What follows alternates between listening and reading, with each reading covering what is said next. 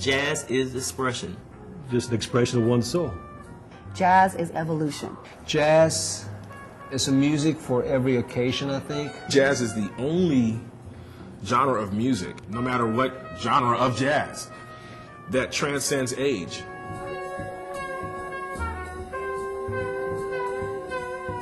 I think it was a, a natural progression because I play saxophone that I play jazz. Jazz, to me, it, it touches me differently than any other music.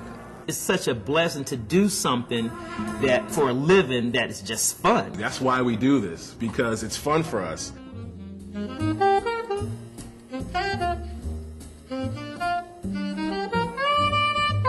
and it's just was all over the place actually.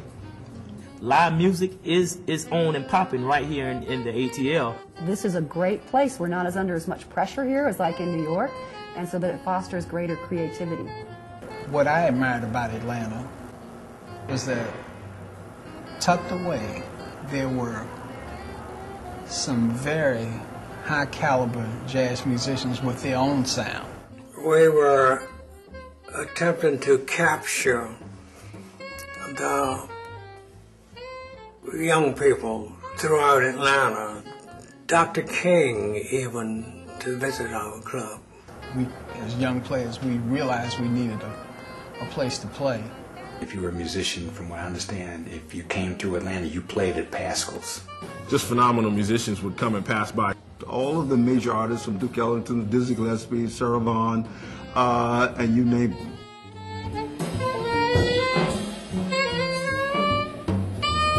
It's not going away, but it's changing. We have to continue to morph ourselves in order to stay relevant. And as it evolves, we get new and different things.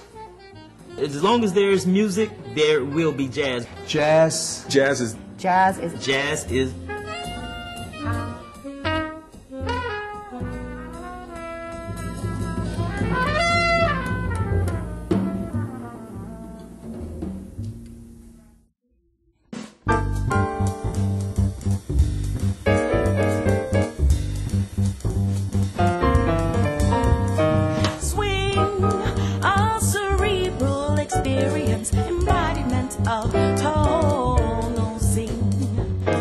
music is a harmonic thing, a dawn explosion of somebody's dream. Atlanta scene, jazzy.